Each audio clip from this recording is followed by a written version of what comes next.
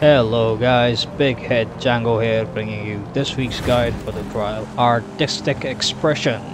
If you are looking for soft look tunes with some of the best performance then you've come to the right place. Feel free to join the Discord server for the credits giveaway, constantly giving away credits for Junkas. And if you find this video useful be sure to subscribe, like, comment. You can also follow me in-game on Xbox or Reddit so let's get started with the first trial, the Estadio circuit. Starting in the middle of the player grid. For the first trial I'm not actually driving one of my own tunes. It's a tune made by Atomica 3846. Be sure to give them a follow if you find that useful. It's a pretty good tune for the 1960 Corvette. Heading into the first corner my path is completely blocked by the AI. Everything's a bit chaotic managed to get through that but accidentally ride Mudbean through that second corner. Of course they're quickly going to return the favor. Slammed into the wall there. Off to the first straight and Mudbean goes slamming into the barrier, unable to maintain control. It can be pretty tricky to maintain control going down a straight so understandable. Up to this really fast corner, go really wide there, taking out someone's fence. Coming up to the chicane, actually managed to get through this pretty nicely despite what we just went through.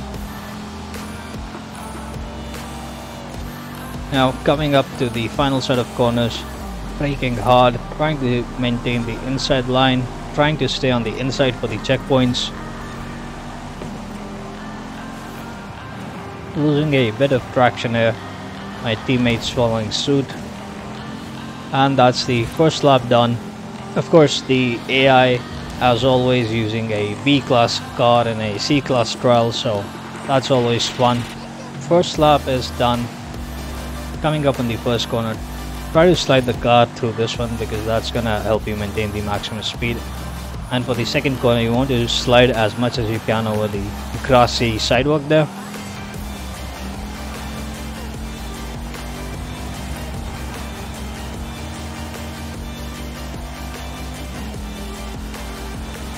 Now back down the straight. Coming up to the high speed turn. Actually make a mess of it by braking for some weird reason and I didn't really have to. Now the trick to this chicane is to come in fast and hard. Brake hard and as you do that try to position the car for the next checkpoint. This will put you in the optimal path through the next corner without sacrificing too much speed.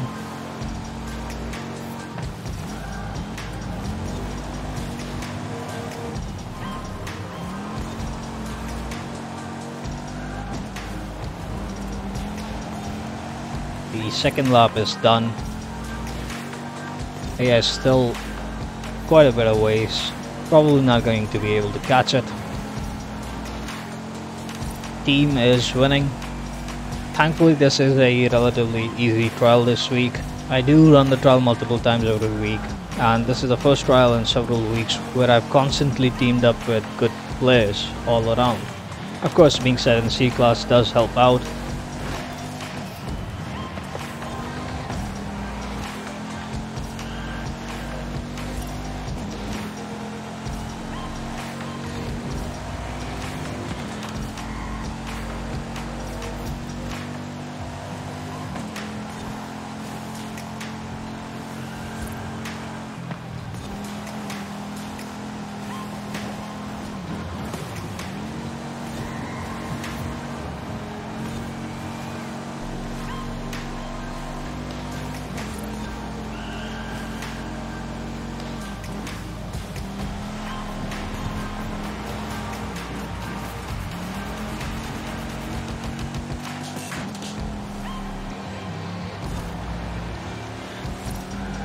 Don't manage to take the lead, but that's alright. Team still wins the race.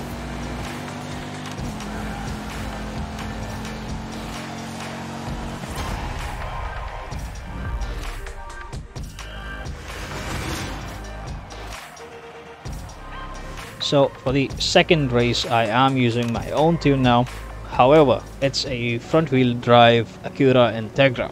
Unfortunately, I'm starting at the back of the grid. Now, I did try and get a good launch in, but I think the wet weather makes the launch a lot slow anyways. This being a front wheel drive car, it is quite slow uh, after corners. Doesn't have a very good launch, takes a bit of time to get up to speed. However, it has incredibly good grip through corners so you can take the majority of high speed corners at full throttle without ever going off-road or without ever going too wide.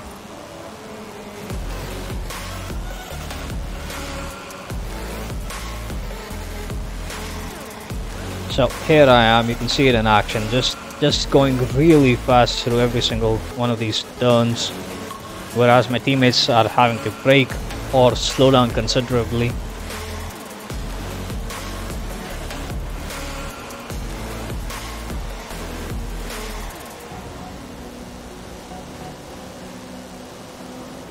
So coming up to the first hard corner and I do go really wide here but that's alright completely on purpose. All of my leading teammates however decide to introduce themselves to the barrier and managed to slip into third place here. And now you can see the difference in acceleration. Quantum balance starting from a dead stop and I'm still unable to pass them at slow speeds I shouldn't have used the handbrake on this corner. I did manage to get in. I would have managed to get out. I don't know why I did that. Getting a nice little bump there from the Chevrolet ZR2.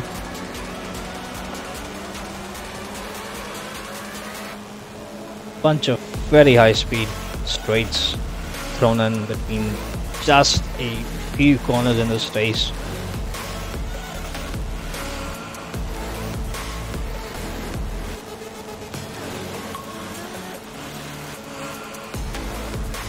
At this point, you get to see at high speeds is where this car starts to shine. So as long as you don't chicken out and brake before the turns, just plow through them, trust the car, you are going to make up a lot of time and be faster overall. Now coming up to the final hard corner in the race and the Reliant Supervan, I don't know, seen Bobcat, I think they might have instinctively hit rewind, even though they didn't really miss a checkpoint there and I do manage to take the lead. So started in 12th, finishing in second behind the AI. That's not bad.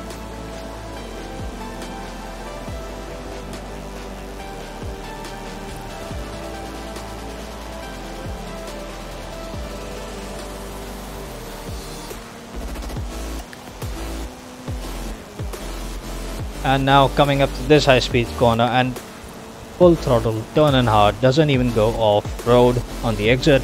Of course, Quantum Balance right behind me introducing themselves to the shack.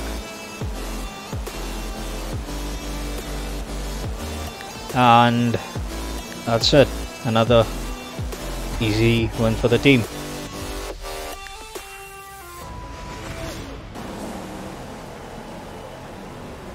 Moving on to the last race, starting in pole position for the team which is going to help me out a bit because the aim of the last race is to win it and we do need to slow down the AI in order to do that.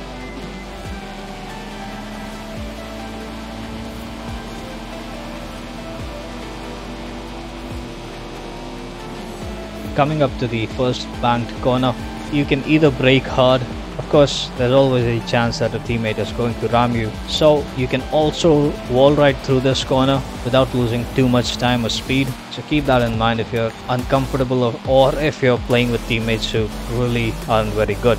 Now this is a tricky corner. You want to break and turn in early. You don't want to go too wide on this corner because there's a tire sticking out of the wall for some reason that just completely brings you to a dead stop. And for this next turn you want to go a bit to the right and then turn in. This will allow you to maintain high speeds but also watch out to not turn in too much because those poles are going to slow you down quite a bit.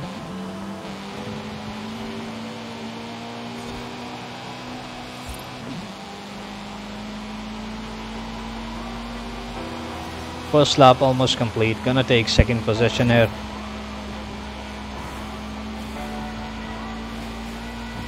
Through the start finish line. Feather the throttle here a bit just to give you better turn in as well as traction. Going to take first place in a bit. Brake hard and turn in just a little too wide in order to block the AI which is right behind me. Now I'm gonna work on slowing down the AI because I the team is winning but it's always better to have a guaranteed win instead of just relying on your teammates not messing up.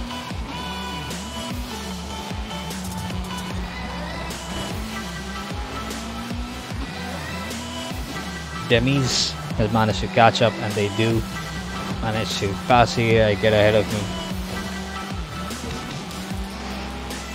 But they seem to be pretty slow here for some reason, I can't quite make out. Mim NST right behind me, along with other gamer name. So I'm not quite sure what's going on here at this point. I, I'm trying to give them a pretty good opening to pass me, but they, they just do not seem to be interested. I get rear-ended, lose control a bit there. Still, huge opening, but that's it. Other gamer doesn't seem interested in passing me, and I and I honestly don't know what they're doing. And AI manages to get past me, so now I have to put it back in its place.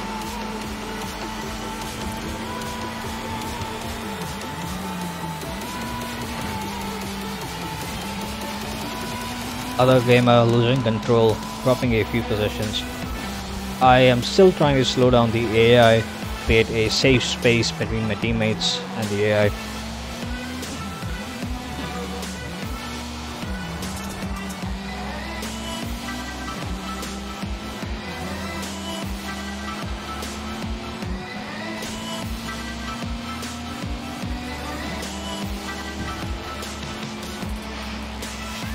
this is always going to be a tricky corner because you come in fast and you don't want to go too wide you want to try and stay inside so brake as much as you can in order to stay on the inside and I'm gonna be and here's the thing I didn't realize that we were on the last lap I didn't really have to slow down the AI at all because of that I'm really slow coming out of the last corner and the AI is coming up really fast behind me I swerved to try and block the AI prevent them from blasting past me at the final point in the race. Gotta secure that win. And there you go. So the last track is a bit technical. Try to get that lead or at least third position, slow down the air, help you out your teammates and that's it. So I hope you found this useful. Drop a like, subscribe for more Forza Horizon 5 content, comment and let me know how the trial went for you. This is Big Head Django and I will see you next time.